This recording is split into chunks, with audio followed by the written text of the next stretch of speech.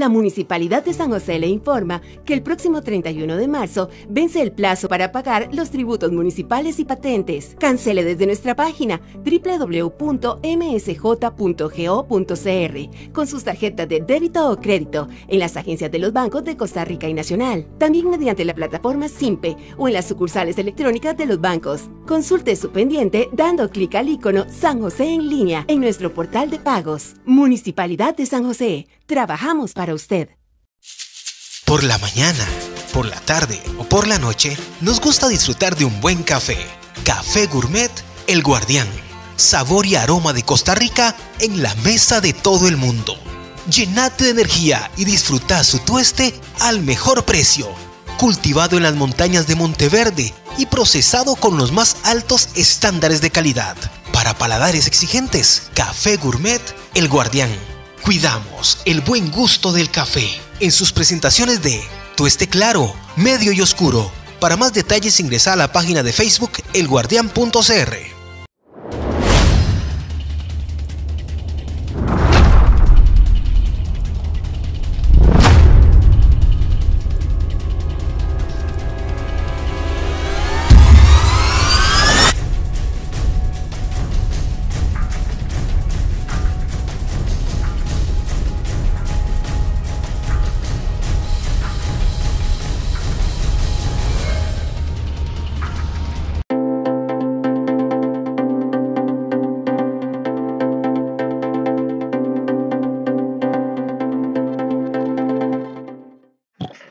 tal? ¿Cómo están? ¿Cómo les va? Gracias por acompañarnos, por sacar nuevamente un espacio para conversar y presentarles a ustedes a los diputados electos para el próximo cuatrenio, los próximos cuatro años, donde esperemos tengamos una resolución importante de aspectos que han quedado pendientes en esta ya agonizante Asamblea Legislativa, impopular. Eh, ellos han dicho que han hecho, pero la verdad es que los costarricenses no sentimos esos impactos. Y por supuesto es importante conocer las ideas de los que vienen y cuáles serán sus propuestas. Sin más demora, hacemos la presentación de nuestro invitado. Ruta 57. Ellos son los nuevos diputados electos. Es tiempo de conocer sus ideas y proyectos. Ahora toca el turno de Gilberto Campos Cruz, diputado electo por el Partido Liberal Progresista. Los 57 en El Guardián. Es un gusto compartir con don Gilberto Campos Cruz del Partido Liberal Progresista. Don Gilberto, gracias por acompañarnos y por darnos la oportunidad de conocerle, don Gilberto. No, muchas gracias a ustedes. Eh, por supuesto que gustoso atender la invitación en el momento que me la cursaron. Siempre es importante eh, dar a conocer las ideas del partido, las posiciones que tenemos sobre diferentes temas nacionales, pero principalmente quiénes somos, eh, de dónde venimos y qué es lo que pretendemos hacer estos cuatro años que vienen en la Asamblea Legislativa y, y quizás los siguientes cuatro años en el Poder Ejecutivo.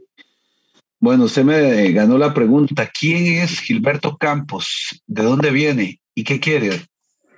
Sí, bueno, eh, tengo, bueno, primero hay que decir que soy politólogo. Este, tengo una especialidad en gobierno y políticas públicas y una maestría en comunicación política. Desde hace más de 20 años eh, me he desempeñado como vicepresidente ejecutivo de la organización Consumidores de Costa Rica que es una organización privada de protección al consumidor, eh, que durante este tiempo hemos defendido los derechos y, la bolsa principalmente de la población consumidora nacional y los usuarios de los servicios públicos. Durante todo este tiempo eh, nos hemos eh, apersonado a la autoridad reguladora de los servicios públicos, por ejemplo, a oponernos aumentos tarifarios de agua, electricidad, este, transporte público, entre muchísimos otros. Y también hemos desarrollado en la Asamblea Legislativa durante todo este tiempo una agenda que tiene que ver eh, con la protección de los derechos de los consumidores y los usuarios. Entonces, eh, esa, esa, em, ese norte que hemos seguido durante más de 20 años será también el que para este servidor eh, sea un imperativo en las posiciones que se defiendan en la Asamblea Legislativa, principalmente tomando en consideración que el partido tiene una gran vocación, eh, tratando de eh, resolver muchos problemas que, el Estado costarricense tiene, eh, basados principalmente en el hecho de que las instituciones de nuestro país se han convertido en un fin en sí mismo y en muchas ocasiones han dejado de lado eh, su objetivo principal, que es atender las necesidades de la población y poner al ciudadano como tal en el centro de toda política pública que el Estado tenga. Entonces, le puedo decir que, en estos 20 años, se, hemos formado un, un, camino que esperamos continuar en la Asamblea Legislativa en, en, los próximos cuatro años. Bueno, Gilberto, eso me da una luz a mí acerca de que por fin los consumidores tendremos alguien que nos representa, porque en el pasado los empresarios tenían lobby, eh, los políticos tenían lobby, los partidos tenían lobby, los colegios profesionales tenían lobby, pero el consumidor no existía. La ecuación era cero. Eh, a mí me gusta mucho homologar México, comparar México, donde la cultura del consumidor es cada vez más fuerte. Aquí estamos divididos en las asociaciones, pero hay por lo menos esfuerzos lamentablemente disasociados, nunca eh, corporizados y nos hace ver débiles. Pero entre esos objetivos en la maleta, ¿cuáles son sus preocupaciones más inmediatas en torno al tema del consumidor y convertirnos realmente en un eh, sujeto de acción y no un objeto que nos movían de un lado para otro. Vea, hay, que, hay, que, empezar por decir que, que, una de las razones por las cuales este servidor eh, empieza a participar en el Partido Liberal Progresista es porque encontré en el partido, en las personas que conformaban el partido y en la visión ideológica que tiene el partido, realmente un, una, ¿cómo podríamos decir? Un objetivo medular que coincide con toda la lucha que yo he venido desarrollando durante 20 años. Eh, y es justamente tratar de ajustar al Estado poniendo al ciudadano, como le decía, en el centro. Eh, pero no solamente eso, sino que tiene que ver con la eficiencia del Estado, tiene que ver con la, hacer un poco más pequeño el Estado. Hacer más pequeño el Estado no significa eh, solamente reducir el tamaño de las instituciones o fusionarlas o, tratar de, eliminar las duplicidades eh, o las multiplicidades, como decía Eli en campaña de los trabajos que realizan eh, muchas instituciones en el país sino que tiene que ver con reducir la capacidad de influencia de muchos grupos este, políticos muy chineados en, Costa Rica durante décadas, ¿verdad? Que han hecho de las instituciones la, posibilidad de sostener sus negocios, es decir, las protecciones de sus negocios prácticamente haciendo que los consumidores eh, terminen, bueno, en este caso los ciudadanos, terminen sosteniendo esas políticas de protección. Eh, porque es muy interesante cuando uno, cuando uno escucha eh, a un grupo particular, mire, es que yo necesito, para darle un ejemplo, que me suban el arancel porque es muy caro competir en Costa Rica contra los productos importados o alguna cosa así, productos de alto consumo o consumo masivo, ¿verdad? Eh, y resulta ser que cuando usted sube un arancel, usted lo que está haciendo es encareciendo, ¿verdad? Los precios finales. usted me está hablando, don Gilberto, del, arroz, por ejemplo. Estoy hablando de muchos productos. Si, si, sacamos la lista de todos los productos que tienen protecciones arancelarias en Costa Rica, le puedo hablar del arroz, de la leche, del pollo, de, de un montón de cosas, ¿verdad? Incluso productos incluso productos que no son comestibles. Pregunte usted cuánto, cuánto tiene de, arancel la importación de zapatos en Costa Rica, por ejemplo. Eh, una, una producción, por ejemplo, que, que, en Costa Rica, si bien es cierto, hay algunos focos de alta calidad, eh, lo cierto del caso es que la mayoría de los zapatos en Costa Rica son importados, por ejemplo. Eh, entonces, ahí estamos hablando de que todas esas cargas, todas esas cargas son trasladadas a los precios finales y que terminamos pagando todos. ¿verdad? Es, eh, cuando hablamos de protección, estamos hablando de que estamos condenados a pagarle más a alguien que siente que su negocio tiene que ser protegido. Eh, y ese tipo de cosas eh, son las que obviamente nosotros estamos en la mejor disposición de, de entrarle, ¿verdad? Por supuesto. prioridad a corto plazo o inmediatamente ingresa usted, ya hablaron como fracción legislativa y dijeron, nuestra primera prioridad va a ser este proyecto ya creo que los dos candidatos en disputa eh, han trazado su línea mm. y pareciera que por mayoría Liberación Nacional pues va a tener una agenda, me parecería, aumentar el IVA en el corto plazo, que esa es la muestra más recurrente y probablemente del otro lado del partido, eh, el, PS, el PSD podría hacer lo mismo. Pero ¿cuál va a ser la, línea de ustedes? Porque ustedes en realidad estarían jugando eh, a acomodarse, eh, don Gilberto. O sea, estarían ahí como, como electores también, a ver a quién apoyen, a quién sí, a quién no. acomodarse no es la palabra que yo usaría, en realidad. Eh, lo que le puedo decir es que nosotros somos altamente críticos de las dos opciones que, prácticamente le quedaron al país, dos opciones muy coincidentes entre sí, los dos son estatistas, ¿verdad? Los dos eh, pretenden este, mantener estructuras en el Estado eh, de, a, las que nosotros le estamos convencidos y le dijimos a la, a la gente en campaña que había que reducir, fusionar y algunas eliminar ¿verdad? Eh, pero las opciones que nosotros le dimos a los electores en campaña estaban orientadas hacia reducir el tamaño del Estado, maximizar su eficiencia y tratar de generar, de poner al ciudadano en el centro. Las opciones que le quedan al país son opciones ah, muy coincidentes entre sí. Eh, programas de gobierno de un lado eh, un poco escuetos, del otro lado prácticamente lo que le dicen es al país vamos a mantener todo igual. entonces, eh, nosotros, eh, desde nuestra perspectiva, no le vamos a decir a la gente eh, por quién votar.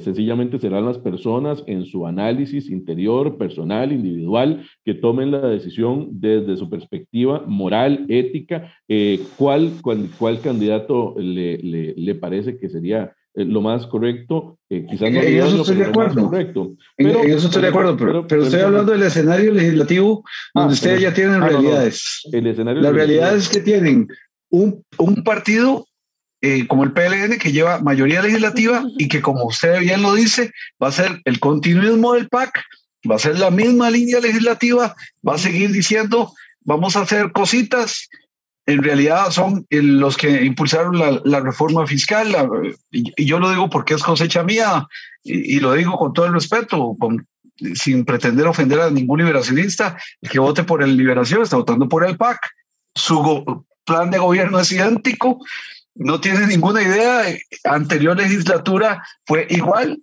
Entonces uno dice, bueno, eh, ok, entonces ustedes irían ya dentro de la franja legislativa de frente a Liberación Nacional, porque aquí es donde uno tiene que, acomodarse, porque si usted me está diciendo que los planes de gobierno del PLN coinciden con lo que está pasando y que va a ser un continuismo, ustedes abogaron por cambiar y por irse por otra línea. Entonces ya en la línea legislativa tendrían diferencias importantes con ellos. Vea, usted me preguntaba primero por los dos candidatos que están en este momento eh, disputando la presidencia de la República.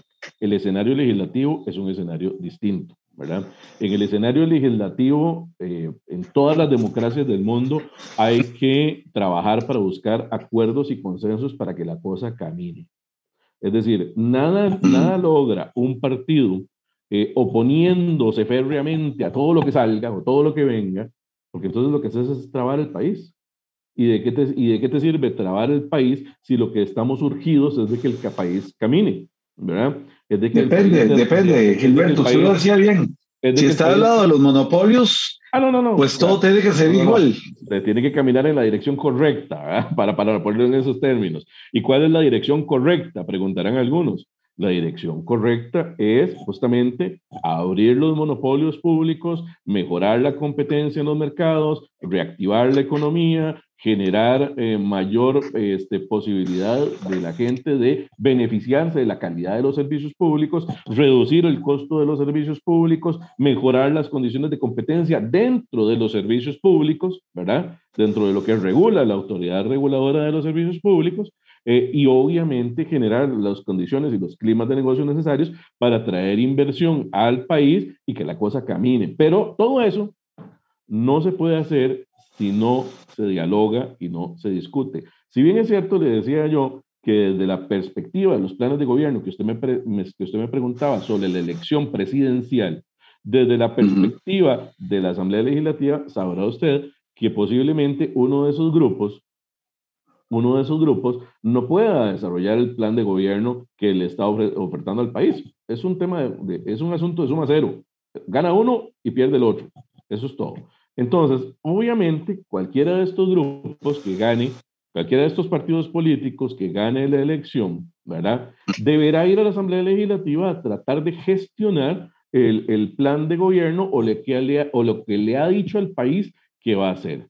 Y obviamente ahí hay que, desde nuestra perspectiva, aplicar la ideología liberal, ¿verdad? buscar la negociación eh, para que las cosas caminen y ocurran, pero tomando en consideración lo que quizás nunca antes se ha visto en el país, y es pensar en la gente y no en las instituciones como un fin en sí mismo. Como le decía hace un momento, una de las orientaciones más importantes nuestros es tratar de impactar el costo de vida de las personas. Y si usted se fija en los planes de gobierno que están en este momento, pues ninguno de los dos hace mucho hincapié en impactar el costo de vida de las personas, ¿verdad? Eh, o las tarifas de las cosas que paga la gente o de los precios que paga la gente por los bienes y los servicios. Entonces, hay que de volver la mirada hacia la población y abandonar un poco la mirada estatista eh, que durante muchísimos años ha generado un Estado bastante gordito, ¿verdad? Eh, con el perdón de todos los gorditos, eh, que nos está generando un, un, impacto serio en las finanzas públicas. Como fracción, ya hicieron un análisis de quién podría ser su socio natural, porque ahí van a tener que, ahí van a encontrarse el Frente Amplio, el PSD, el PLN, el PUS, ustedes, y se me escapa una, fracción más. Nueva República. que podría ser Nueva República, tal vez la más coincidente. A mí me da mucha risa porque eh, no hay nadie más liberal que un evangélico. ¿Por qué? Porque todo es plata, plata, plata. Los evangélicos son plata, plata, plata, plata. Las iglesias son instituciones financieras antes que cualquier cosa. Pero ustedes han hecho ese análisis de con quién podrían tener coincidencias.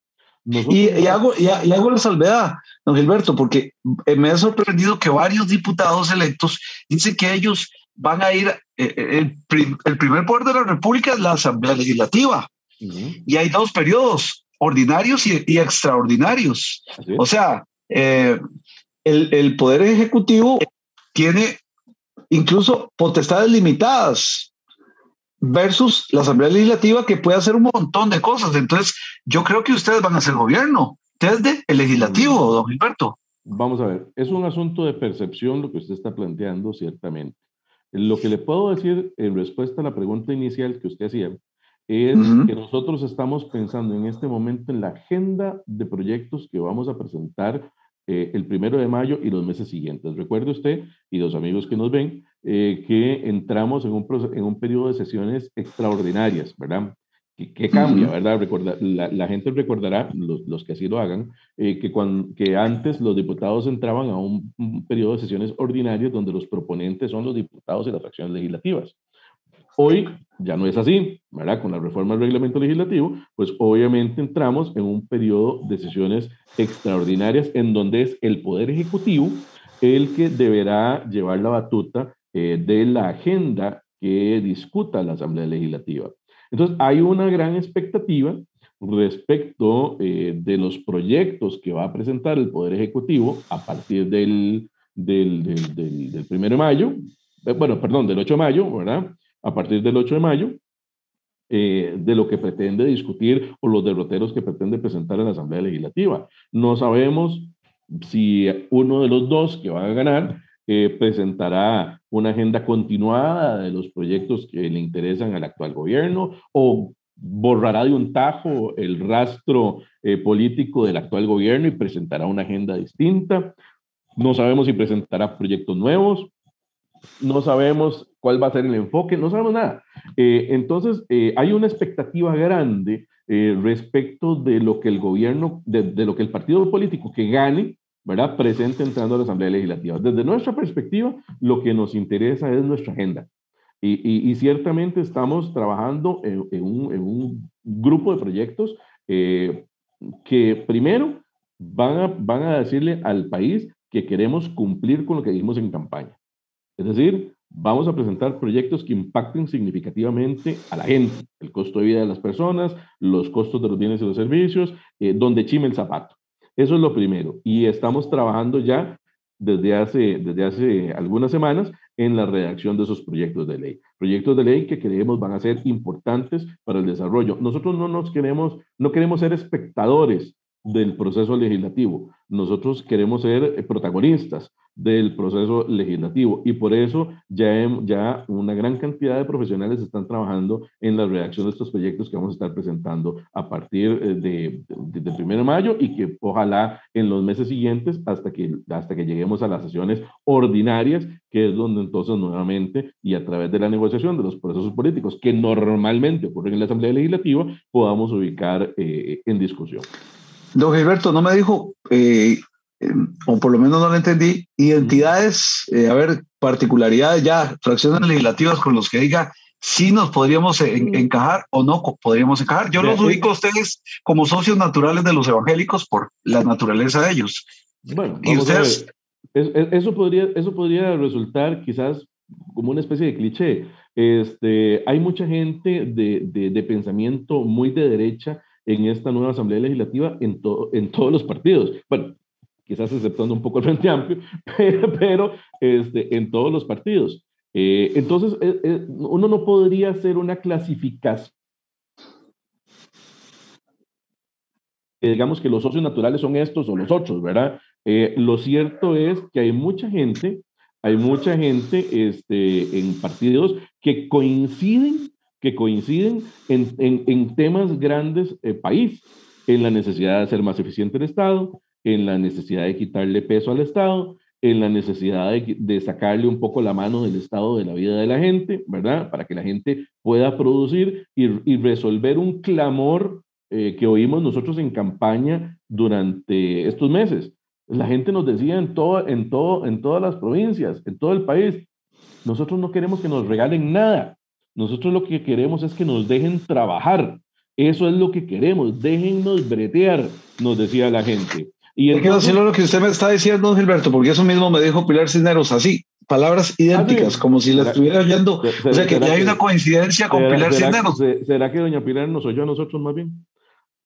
Eh, pero ahí hay una coincidencia que yo estoy diciendo, mira, esto mismo me pareció, pero en la campaña política FENSA el candidato presidencial de su partido dijo, hay 105 impuestos, los vamos a reducir. Esa es una de las prioridades de ustedes, eliminar esos impuestos que no sirven para nada de por sí. Bueno, los 105 impuestos no, no son los que no sirven para nada, ¿verdad? Hay una gran cantidad de impuestos que son más caros cobrarlos que lo que generan. Recuerde usted que él habló de 90, ¿verdad? No de los 105.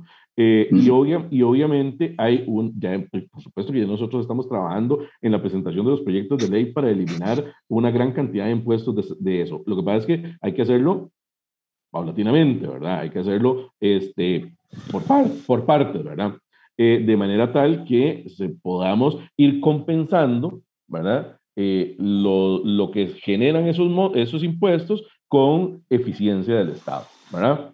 es decir, Mm, obviamente nosotros somos conscientes de que cuando usted quita una estructura eh, impositiva, por más ineficiente que sea y por, y por más poquito que sea lo que usted recaude, pues hay alguna institución que tiene algún, algún beneficio de ese, de ese impuesto, ¿verdad? De esa plata que le llega. Bueno, lo que tenemos que hacer entonces es, primero, hacer una lista de los impuestos prioritarios para eliminar, ¿verdad? Y en segundo lugar, eh, establecer las condiciones para que el Estado pueda eh, eh, reducir eh, su tamaño y asumir ese impacto, que son impactos chiquitillos, ¿verdad? a final de cuentas, en estos primeros, en esos primeros. Pero lo cierto aquí es que necesitamos hacer más eficiente la, la estructura del Estado. Necesitamos hacer más eficiente la gestión estatal.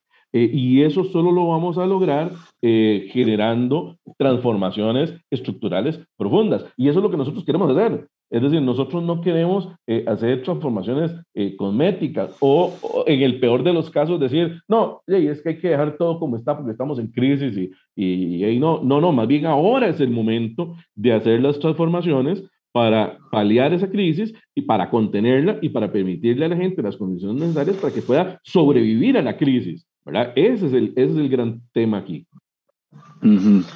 Eh, yo creo que hay que poner la cola al gato en cuanto a esos. Yo estoy de acuerdo que hay impuestos que no sirven para nada y que están mal pensados. Y usted ve el diseño del Estado, el Estado, el, Estado es engorroso. Hay 23 instituciones para combatir la pobreza y seguimos teniendo cada vez más pobres. Entonces tenemos que pensar, e, ¿a quién le estamos dando plata? ¿A quién le estamos dando plata? Y, perdón, sí. adelante. No, eso que usted está diciendo es muy interesante y perdone que le interrumpa porque justamente es algo que nosotros dijimos durante toda la campaña. Eh, el sector social del país es un sector que es necesario repensarlo. Eh, repensarlo por lo siguiente, Costa Rica tiene 50, 60, 70 años, póngale el número que usted quiera, ¿verdad? Este, de tener eh, condiciones de pobreza similares. Andan rondando entre un 20, 21, 22, dependiendo, dependiendo de, del instrumento con el que usted le mida, ¿verdad? Eh, de pobreza estructural. Eh, ahí estamos incluyendo la pobreza extrema y una, y una serie de categorías. Pero resulta ser que el Estado costarricense invierte una gran cantidad de dinero en la atención de la pobreza. Si el Estado costarricense atiende una gran cantidad de dinero en atención de la pobreza, ¿por qué la pobreza no se reduce? Porque la pobreza eh, no tenemos un impacto positivo sobre la pobreza. Y es que aquí es quizás la diferencia eh, de pensamiento. Eh, nosotros siempre hemos creído que el mejor programa social es un empleo bien remunerado y digno, de tal manera que la gente pueda a través de su trabajo, a través de su esfuerzo, eh, no solamente llevar sustento a su familia, sino, ser, sino hacerlo dignamente. El tema de la dignidad es importante.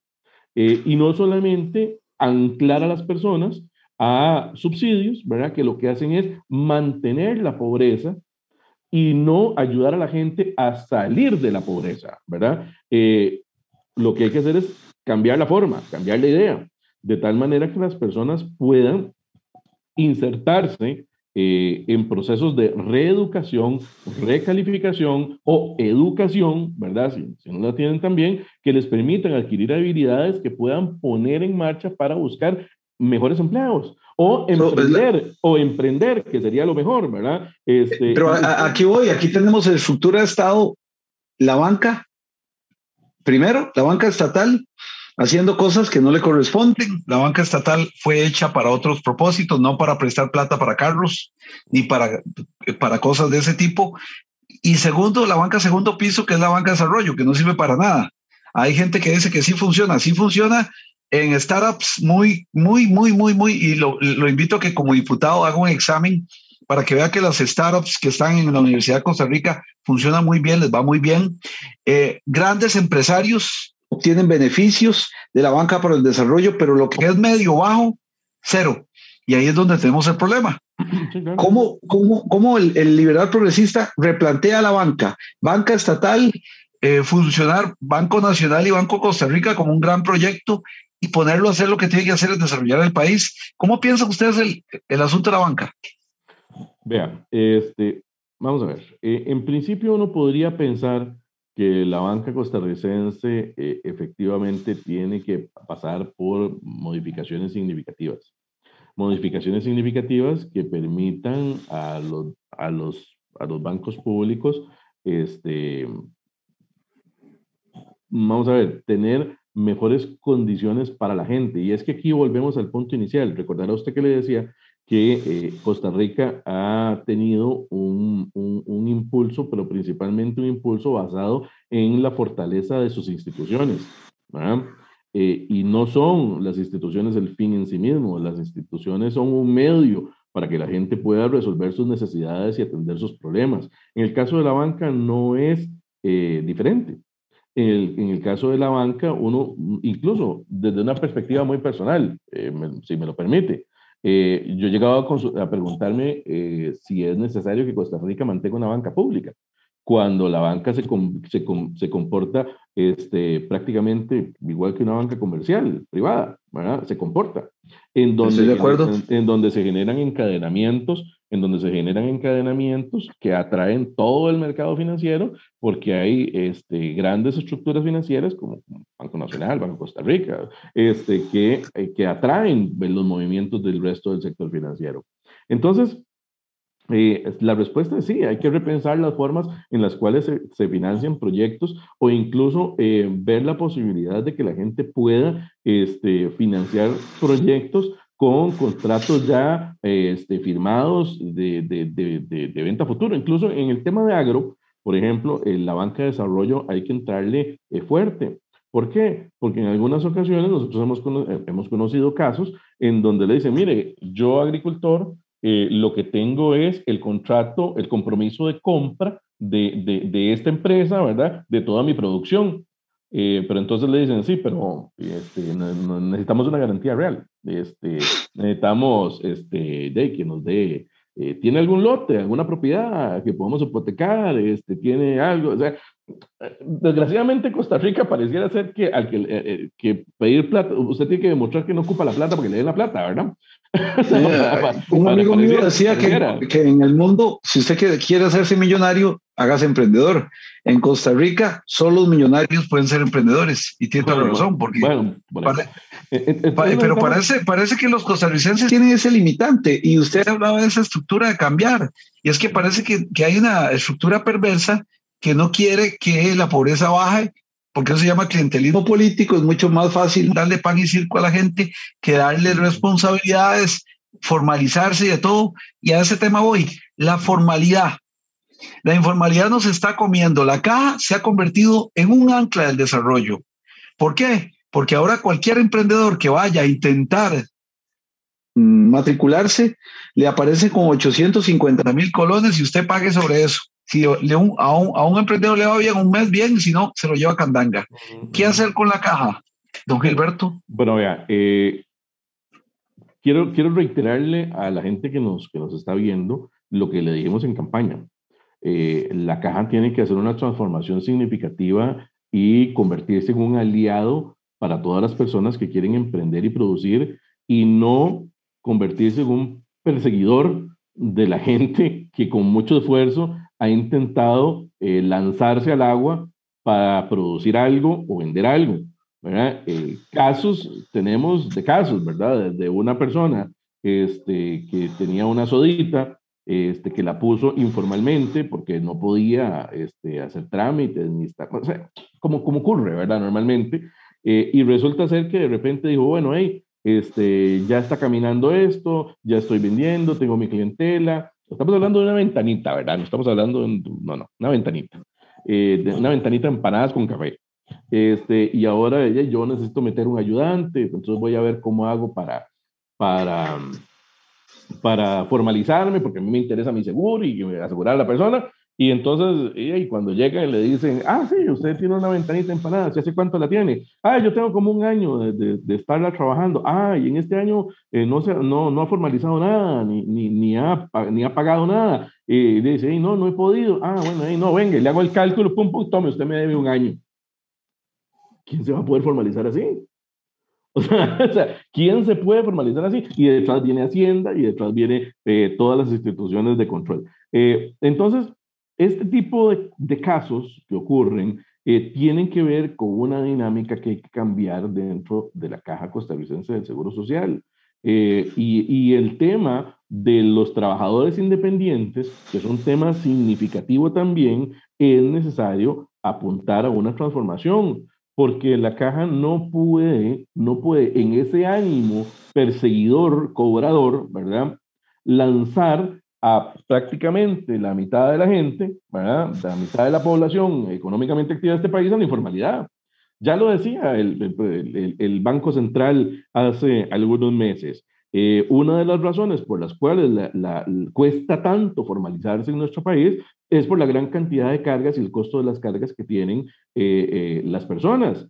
Entonces, hay que hacer algo. O sea, es que el diagnóstico está, ya el problema lo tenemos, la situación existe, eh, la gente no puede formalizarse porque a muchos les da miedo eh, acercarse a formalizarse, es la realidad. Yo conozco mucha gente que dice, no, hombre, yo no voy a ir jamás, me van a cobrar, eh, o no, hombre, yo no voy a ir porque me van a meter en la cárcel, no, hombre, yo no voy a ir porque me explico.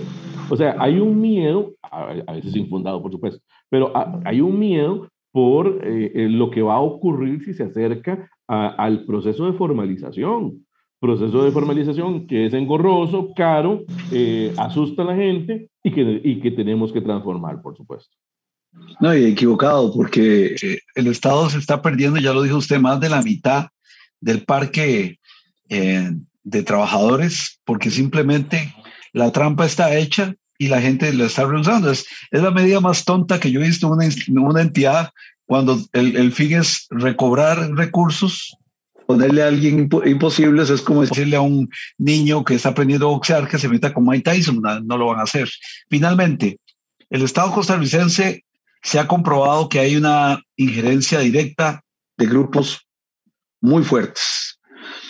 Ustedes llegaron financiados por Toyota, que es uno de los más grandes eh, proveedores del Estado costarricense. Entonces, a mí eso me, me causó preocupación le tengo que confiar. Yo creí que don Eli iba a ser más liberal y cuando vi ese financiamiento realmente como ciudadano me sorprendió.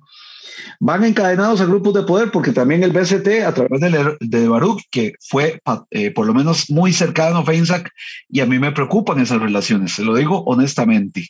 Eh, han hablado abiertamente que yo recuerdo que el PST le, le, dio un fideicomiso, bueno, le dio una, no, no un fideicomiso, pero, pero entiendo, tras, tras, eh, pasó en la prensa, eh, o lo oí en la prensa, que, que, más bien le había prestado plata al Frente Amplio, me parece. Eh, también, a mucha gente, a mucha gente. También. Bueno, en, en, todo caso, le puedo decir, le puedo decir dos cosas. Uno, a la, a la respuesta a su pregunta, no, nosotros no vamos encadenados a ningún grupo de poder. Dos, la, el financiamiento de campaña de Javier Quiroz eh, fue a, título personal en la campaña. Eh, sí, pero él es el dueño por demotor. Permítame, y, permítame. Y eh, se aclaró claramente, clarísimamente, él y lo dijo en reiteradas ocasiones, que los apoyos de, de la gente que venían, que no es solamente Javier Quiroz, sino una lista de, de, de, gente que apoyó el partido y las ideas y que está transparentemente registrada ante el Tribunal Supremo de Elecciones, ¿verdad? Eh, como corresponde y como debe ser.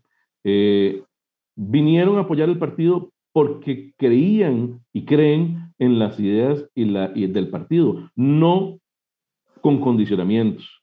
Y, y vea, se lo voy a decir muy sinceramente, eh, hubo gente que, que se acercó a las que les dijimos, vean, si ustedes nos quieren apoyar, nos apoyan por lo que creemos, por el plan que llevamos. Si usted viene con algún condicionamiento, muchas gracias, pero no gracias. Y así se lo dijimos claramente, así, así se lo dije yo, dos o tres. Eh, y me da vuelta y se fueron, efectivamente. Porque, vean, si nosotros queremos hacer un cambio en la política nacional, si nosotros queremos realmente hacer una transformación, lo que tenemos que hacer es que la gente crea en lo que pensamos, en lo que decimos y en lo que hacemos. Eh, y no podemos, no podemos endilgarnos prácticas añejas de ocultar financiamientos o de hacer estructuras paralelas o, de, o, hacerle caso a grupos de presión para mantener este, beneficios una vez que están en el poder y porque entonces no hacemos nada nunca. Eh, no, no, de eso no se trata. La preocupación suya quizás eh, yo se la comprendo y se la respeto, pero la lógica que, que se utilizó en la campaña fue otra, completamente distinta. Y así lo dijo también don Javier Quirós en, en, varias entrevistas en las que, en las que participó, y así es eh, como, como se planteó eh, dentro de la estructura de campaña y así se reportó al Tribunal Supremo de Elecciones. Entonces hay absoluta transparencia en eso. El hecho de que una persona, el hecho de que una persona sea proveedor del Estado no lo sataniza, ni a él ni a nadie, ¿verdad? Este, como muchos. De es no, como no, que, no, lo sataniza, no, don Gilberto. No, no, pero, permítame nada más agregar. Eh, eh, no, permítame un ejemplo. Este, por ejemplo, eh, hay medios de comunicación que son proveedores del Estado, eh, que pasan pauta publicitaria de instituciones públicas y, y son medios absolutamente independientes. ¿Verdad? Eh, y se lo digo porque yo, yo he sido productor radial este, 20 años eh, y, y, y, yo sé lo que es andar gestionando. Don Gilberto, pero muy, muy diferente es un, un proveedor del Estado como la empresa Don Javier, que si no fue porque el guardián sacó que tenían años de no pagar deudas, impuestos y seguía siendo proveedor y seguían emitiendo declaraciones curadas fuera de la ley, porque usted sabe bien que la, la ley de contratación administrativa es muy clara. Entonces, ese tipo de cosas uno tiene que, que verlas. y cuando usted tiene un financista con estas características, hay que verlo. Sí, sí, claro, pero eso no tiene nada que ver con, con el partido. O sea, como usted maneja su empresa es su problema.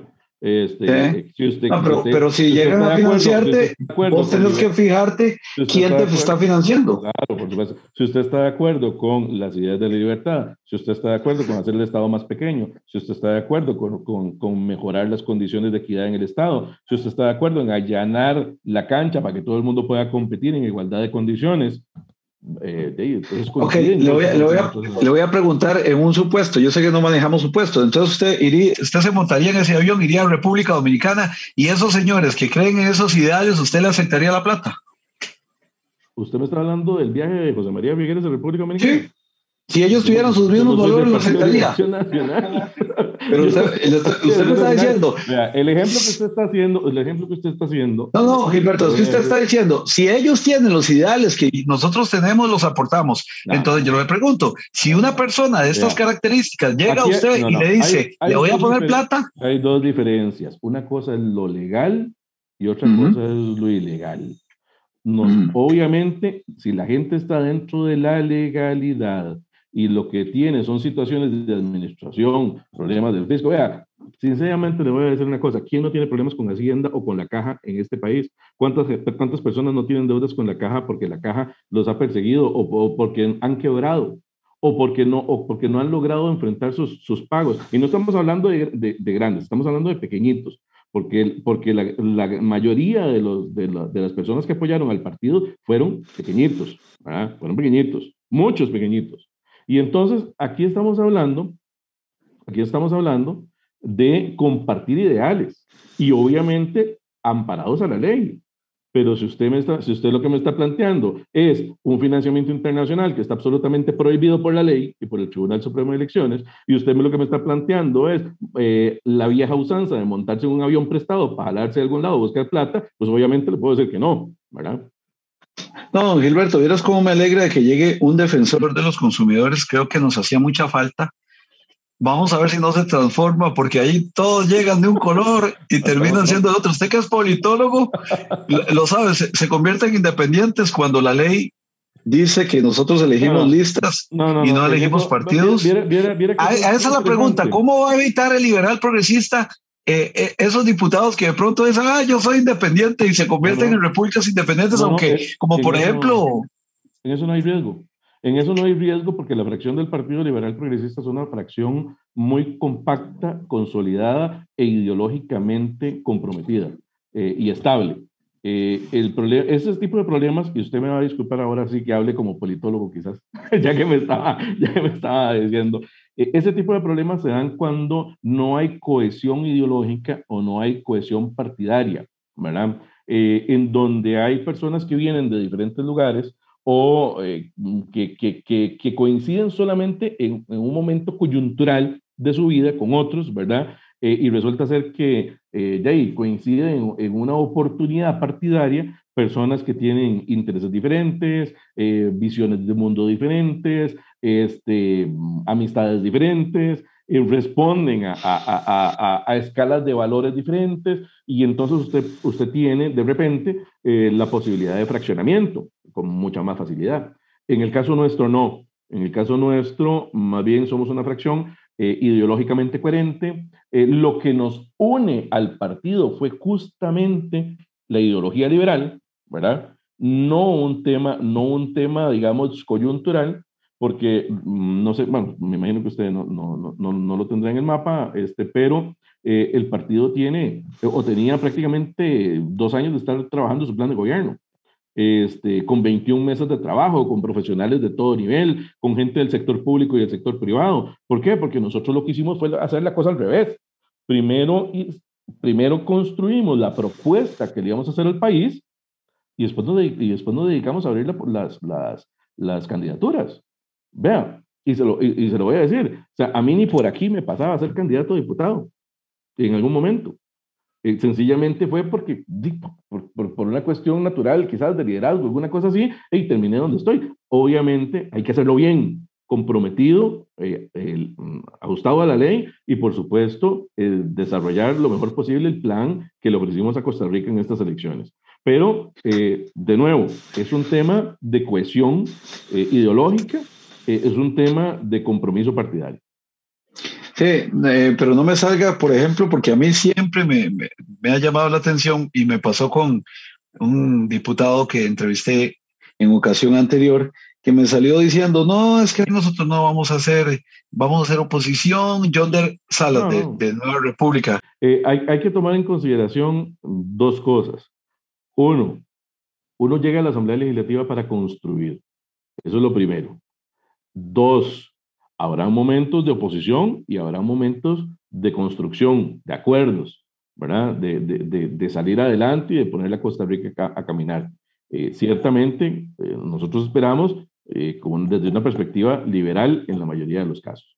Pero lo que, lo que pretendemos es, justamente, es justamente entender que los procesos políticos, y lo decía al principio, no son de, este, no son de este, eh, oponerse por oponerse. No, no, o sea, eh, sencillamente, es más, lo, voy a comentar. Hace un tiempo escuchaba a un colega, un politólogo analista, que, que, criticaba justamente esa posición y decía, vean, yo no entiendo por qué la gente eh, parte del hecho de que es oposición como tal.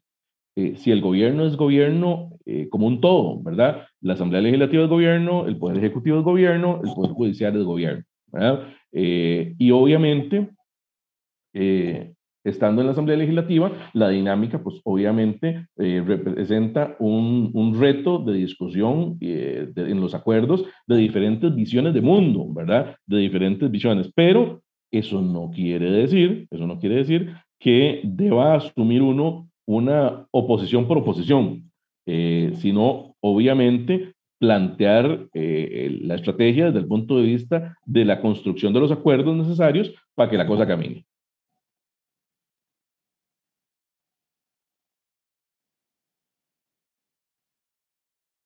Bueno, ahora sí, problemas técnicos míos. Don Gilberto Campos Cruz del Partido Liberal Progresista nos acompañaba y pues le agradecemos la oportunidad que nos ha dado de conversar con él. Algún aspecto técnico que yo tuve al final, pero creo que fue, claro, muy rica la conversación con don Gilberto. Me parece que yo, yo creí que iba a ser más tiernito como los otros diputados, pero resultó que no, que es colmilludo y que me gusta porque es un colega comunicador también, así que muchos éxitos, porque si a usted le va bien, le va bien al país. Pero por eso le, le, recriminaba que no represente ningún grupo de poder, porque eso ya estamos hartos. No, no, no. Eh, eh, eh, Nos parece que se debe cumplir lo que dice la Constitución. Yo soy liberal. Nunca me he afiliado a, ningún, a ninguna organización política porque para mí el liberalismo es una ideología igual que el comunismo, utópica, utópica, porque siempre que hay una intervención de algún sector, no de forma natural como debería ser, sin ningún tipo de influencias, hay un, hay un factor que nos influye, pero ojalá que tengamos ese espacio porque yo estoy de acuerdo con usted, tanta intervención ha provocado demasiada distorsión en el país. Y ese es el problema. Don Gilberto, será hasta la próxima, si usted no lo permite, ya convertido en diputado. No, no, por supuesto, y con todo gusto, las veces que usted guste, Richard. Eh, ha sido un placer y un gusto. Eh, ciertamente hay un compromiso grande que cumplir eh, y esperamos hacerlo de la mejor manera para el beneficio del país. Hasta la próxima. Esta fue Ruta 57 con la gente del Partido Liberal Progresista. Pura vida. La Municipalidad de San José le informa que el próximo 31 de marzo vence el plazo para pagar los tributos municipales y patentes. Cancele desde nuestra página www.msj.go.cr con sus tarjetas de débito o crédito en las agencias de los bancos de Costa Rica y Nacional. También mediante la plataforma SIMPE o en las sucursales electrónicas de los bancos. Consulte su pendiente dando clic al icono San José en línea en nuestro portal de pagos. Municipalidad de San José. Trabajamos para usted. Por la mañana, por la tarde o por la noche, nos gusta disfrutar de un buen café. Café Gourmet El Guardián. Sabor y aroma de Costa Rica en la mesa de todo el mundo. Llenate de energía y disfruta su tueste al mejor precio. Cultivado en las montañas de Monteverde y procesado con los más altos estándares de calidad para paladares exigentes. Café Gourmet El Guardián. Cuidamos el buen gusto del café en sus presentaciones de tueste claro, medio y oscuro. Para más detalles ingresa a la página de Facebook elguardián.cr.